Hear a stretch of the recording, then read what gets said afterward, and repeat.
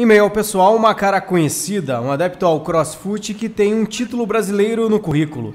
Durante as férias, o volante do operário, Serginho Paulista, mantém a forma física sob os cuidados do coordenador Alisson Campos. Agora que estou parado, dois meses, você perde muito, né? Então, para eu perder o menos possível, para não ter que ficar cuidando de alimentação, para não engordar tanto, então eu estou fazendo o trabalho aqui com o Alisson.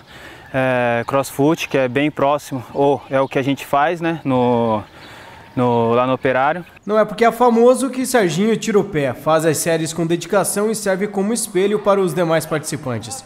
Ele garante que o CrossFit faz a diferença, tanto para voltar bem na pré-temporada, quanto para a qualidade de vida. O Alisson aqui sabe o que vai passar para os alunos. Quem, quem é, participa de campeonato, aqui no, no, no, clube mesmo participa de campeonato, é só procurar aqui o Alisson, que, que com certeza vai sair na frente durante o campeonato, porque é específico para jogador profissional mesmo.